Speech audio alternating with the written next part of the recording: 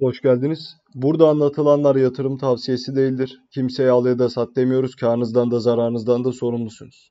Abone olup videoyu da beğenmenizi rica ediyorum. Şimdiden çok teşekkür ederim. E, Sentiment'e göre şu anda e, yatırımlar arasında arkadaşlar yatırımcının enflasyona karşı güvenli liman olarak gördüğü e, en iyi yatırım aracı Bitcoin. Yani şunu da kastediyor. Burada e, güzel bir Türkçe ile anlatmak istiyorum. Örnek veriyorum.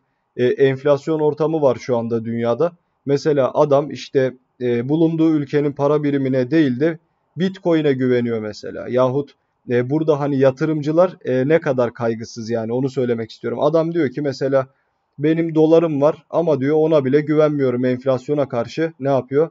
E, eziliyor diyor. Fakat Bitcoin yatırımcısı genel anlamıyla bu konuda e, daha kaygısız anlamında e, bir durum söz konusu. Şimdi bu tabii ki oldukça normal. E çünkü e, kripto paralar Sürekli birçok kişi de söylüyor, ben de söylüyorum.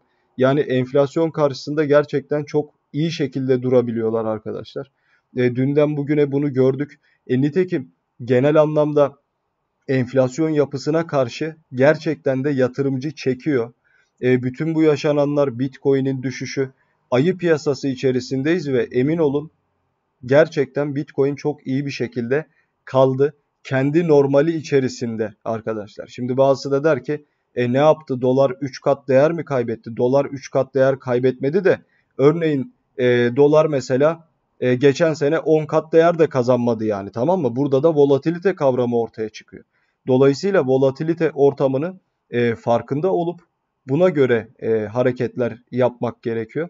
E, dolayısıyla uzun vadede de aynı şekilde e, Bitcoin'in dünyadaki enflasyona karşı düzgün bir şekilde durması Dolayısıyla kripto paralardaki yükseliş de e, oldukça beklentiler arasında arkadaşlar.